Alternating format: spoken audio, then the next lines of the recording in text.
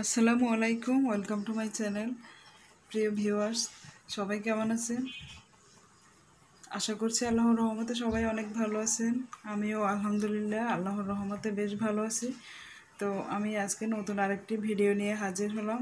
আমি আজকে দুটি মাস্ক তৈরি করে দেখাবো। দুইটা দুই রকম করে আমি বানিয়ে দেখাবো। তো আমি আজকে এই দুইটা মাস্ক দুই রকম করে বানাবো। আর সহজভাবে বানানোর চেষ্টা করব। তো আশা করি আমার এই ভিডিওটা আপনারা প্রথম থেকে শেষ পর্যন্ত দেখবেন। দেখলে বুঝতে পারবেন যে মাস্ক তৈরি করা কতটা সহজ। তো চলুন তাহলে শুরু করি। আমি এখানে দুটি দুই টুকরা কাপড় নিয়েছি, সুতি কাপড়। তো কাপড়টা আমি মেপে দেখাচ্ছি। এখানে লম্বা দিকটা হচ্ছে আঠাশ সেন্টিমিটার আর চওড়া দিকটা হচ্ছে এখানে আমি নিয়েছি বিশ সেন্টিমিটার। তো আপনারা আপনাদের মুখের মাপ অনুযায়ী এভাবে কাপড় নিতে পারেন। আমি নিয়েছি, একটু বড় করে নিয়েছি। আপনারা চাইলে আরেকটু ছোটো করে কাপড় নিতে পারেন। লম্বা দিকটা আর একটু ছোট করে নিতে পারেন চাইলে। তো এখন আমি এটা দুই পাশ সেলাই করে নিয়েছি। দুই পাশ সেলাই করার পরে কাপড়টা আমি উল্টিয়ে নিলাম। উল্টিয়ে নিয়েছি, এটা হচ্ছে সোজা দিক। তো এভাবে একটু হাত দিয়ে সেলাইটাকে একটু কাপড়টা একটু সমান করে নিয়েছি। এভাবে টেনে একটু, আপনারা চাইলে একটু আয়রন করে নিতে পারেন। কাপড়টাকে টেনে একটু সমান করে নিয়েছি। তারপর সমান করার পরে কিনার, দুই কিনারে একটা চাপ ছিলে দিয়ে দিয়েছি। দুই পাশে এই দুইটা সিলাই দিয়ে দিয়েছি। তারপর এভাবে চার কোনায় এভাবে পাঁচ সেন্টিমিটার করে দাগ দিয়ে তারপর আমি কোনাগুলো ভেঙে সেলাই করে নেব। ভাঁজ করে সেলাই করে নেব। এভাবে পাঁচ সেন্টিমিটার চারপাশে এভাবে চারো কোনায় এরকম করে এক কোনায় এক কোনার দুই পাশে পাঁচ সেন্টিমিটার করে করে এভাবে আমি চার কোনা এভাবে দাগ দিয়ে তারপর এই কোনাগুলো আমি ভাঁজ করে সেলাই করে নেব।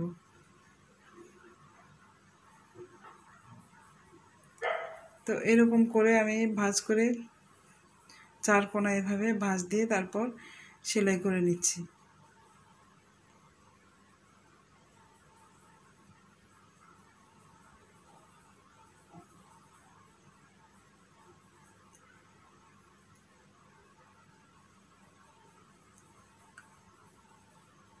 তো এই যে এভাবে সেলাই করে নিচ্ছি। এভাবে হাতেও সেলাই করা যায়। মেশিন থাকলে তো আরও ভালো হয় মেশিনে সেলাই করতে পারবেন। আর মেশিন না থাকলে আপনারা হাতে সেলাই করে নিতে পারবেন। মাঝে মাঝে দেখা যায় বাজারেও মাস্ক পাওয়া যায় না। তাই ঘরে তৈরি করে নিতে পারেন এভাবে ঝটপট। তো এভাবে ভাঁজ দিয়েছি এই ভাঁজের মধ্যে পাঁচ ইঞ্চি, পাঁচ সেন্টিমিটার করে দুই পাশে এভাবে ভাঁজ দিয়ে নিয়েছি। ভাঁজ দিয়ে আবারও এই ভাঁজ বরাবর সেলাই করে নিয়েছি।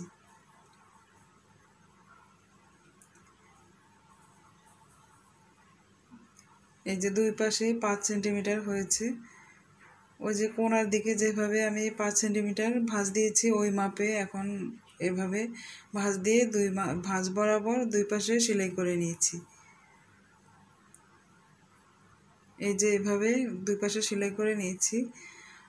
আর তারপর এখানে রাবার রাবার দেওয়ার জন্য এখানে রাবারের একটা ঘর করে নিতে হবে। একটা কিনারে ভাঁজ দিয়ে সেলাই করে নিতে হবে।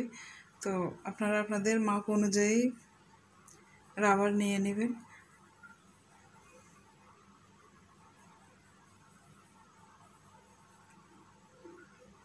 আপনাদের মুখের মাপ অনুযায়ী আপনারা কাপড় নেবেন, কাপড়ের লম্বা দিকটা। আপনারা আপনাদের মুখের মাপ অনুযায়ী কাপড়টা নিয়ে নেবেন লম্বা দিকটা। আর চোড়া যতটুকু আছে ততটুকুই থাকবে। আর রাবারের মাপটাও আপনারা আপনাদের ইচ্ছে মতো নেবেন, যতটুকু দরকার। রাবার তো টানলে বাড়ে, তাই একটু ছোট করে নিলে ভালো হয়। আবার বেশি ছোট হলেও কান ব্যথা করবে।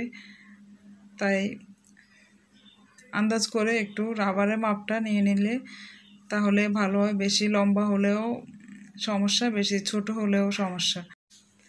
আমি এভাবে আমার যতটুক লাগবে আমি ততটুক আন্দাজ করে রাবারের মাপটা নিয়ে নিয়েছি আর নিয়ে তারপর একটি গিট দিয়ে দুই মাথা আটকিয়ে নিয়েছি। তারপর এখানে রাবারটা বসিয়ে তারপর এই যে মাস্কের দুই পাশে সেলাই করে নিয়েছি।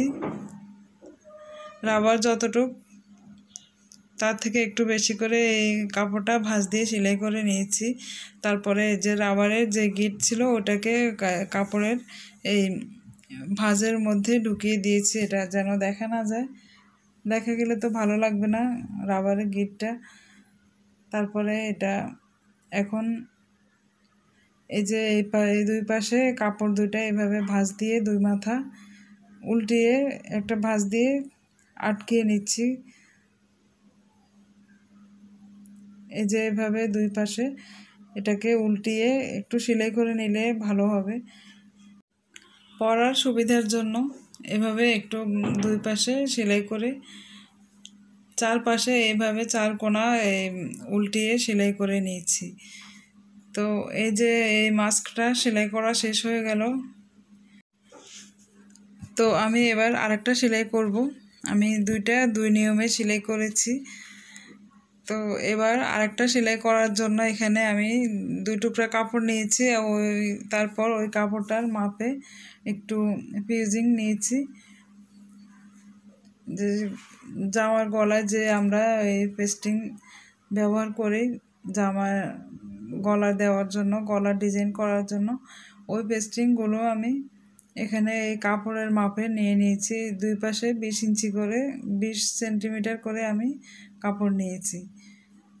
তো ওই মাপে আমি এই পেপার পেস্টিংটা নিয়েছি। তারপর একটু আয়রন করে নিয়েছি, তাই এক পাশে কাপড় সাথে আটকে গেছে।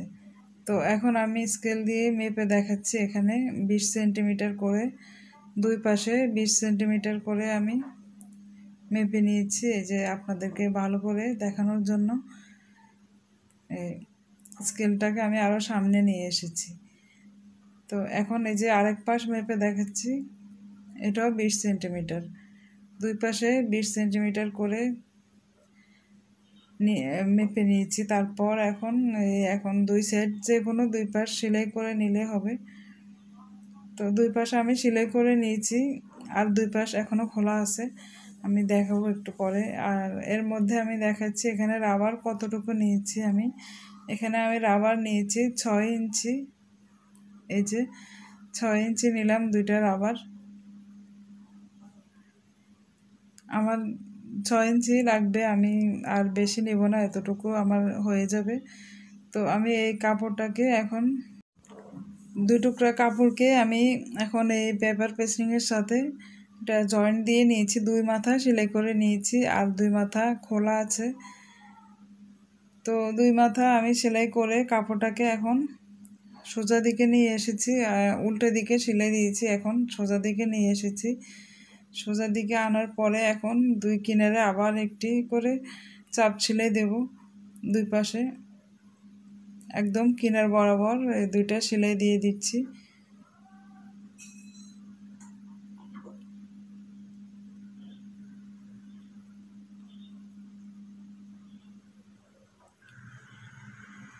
তো এক পাশ সেলাই করার পরে এখন আরেক পাশ সেলাই করে নিচ্ছি। এই যে এইদিকেও কিনার বরাবর একটি চাপ সেলাই দিয়ে দিচ্ছি। সেলাই দেওয়া হয়ে গেছে।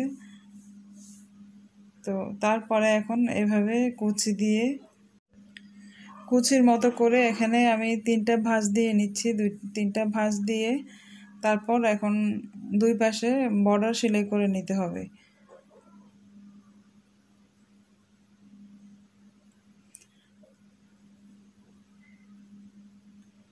এই যে এভাবে তিনটা ভাঁজ দিয়ে তারপর আমি দুই পাশে আরও দুইটা কাপড়, চিকন করে দুইটা কাপড় দিয়ে বর্ডার সেলাই করে নেব।